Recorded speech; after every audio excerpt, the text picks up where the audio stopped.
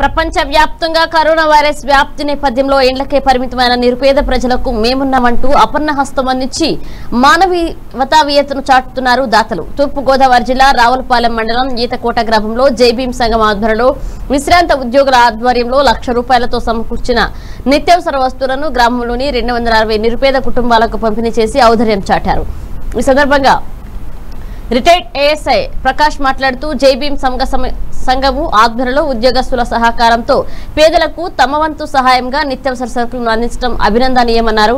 వీరు కరోనా మహమ్మారి తీవ్రత తగ్గే వరకు ప్రజలు ఇండ్లకు పరిమితమై ఉండాలని ఆరోగ్యపరమైన జాగ్రత్తలు తీసుకోవాలని ఆయన సూచించారు. మండలం ఈతగూడ గ్రామం బాబానగర్ సంబంధించి జై భీమ్ ఎంప్లాయీస్ అసోసియేషన్ తరఫున వారందరి ఆర్థిక సహాయంతో ముఖ్యంగా డాక్టర్ మంగన్న గారు డాక్టర్స్ ఇద్దరు. అదేవిధంగా ఆల్ ఎంప్లాయీస్ అందరు కలిపి సుమారు లక్ష రూపాయల దాకా గ్యాదర్ చేసి రెండు వందల రెండు వందల అరవై కుటుంబాల వారికి ఈ లాక్డౌన్ సందర్భంగా పని లేకుండా ఉన్నారు కాబట్టి వారికి ఈ నిత్యావసర సరుకులు ఓ పదకొండు రకాలు మా జైబీ యూనియన్ తరఫున అందజేస్తున్నాం. కాబట్టి ఇందుకు సహకరించిన మా అందరికీ కూడా